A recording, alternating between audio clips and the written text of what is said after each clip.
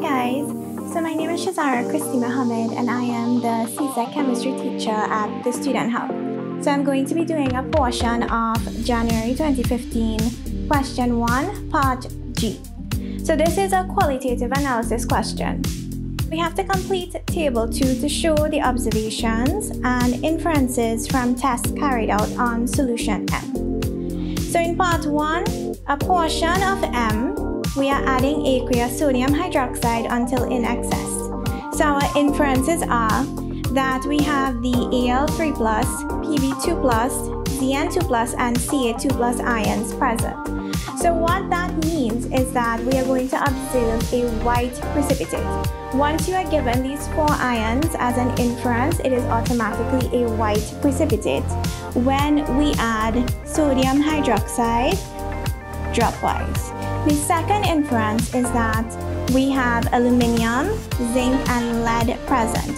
So what happened is when we add the sodium hydroxide in excess, we crossed out the possibility of the ion being calcium. The reason for that is calcium, unlike the other three, is insoluble. So our second observation would have to be that our precipitate is going to dissolve. So part two, the second portion we are adding aqueous ammonia until excess. So the first part we are observing a white precipitate being formed. So that white precipitate is just confirming the second inference that we have. So we have the same ions, Al3+, Pb2+, and Zn2+.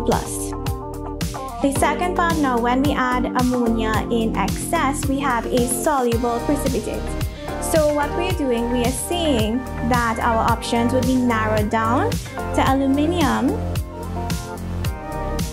and lead. Those are the two ions that will be present because zinc is going to be soluble.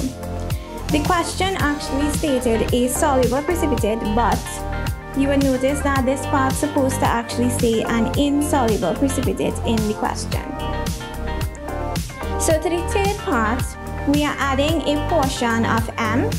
We are adding sodium iodide and we are going to notice a yellow precipitate being formed.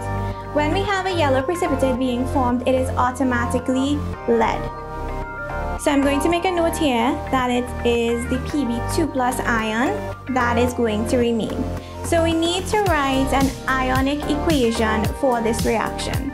So it's going to be lead, Pb2 plus, and our ions are aqueous. You're going to include the state symbol, plus, and our product is actually going to be potassium iodide and potassium iodide is yellow. So that is why we observe that precipitate. And to the last part, to the fourth portion of M, we are adding aqueous silver nitrate followed by aqueous ammonia. This is to test if we have any halogen ions present and because we have no observable change, we can just say that no halogen ions were present.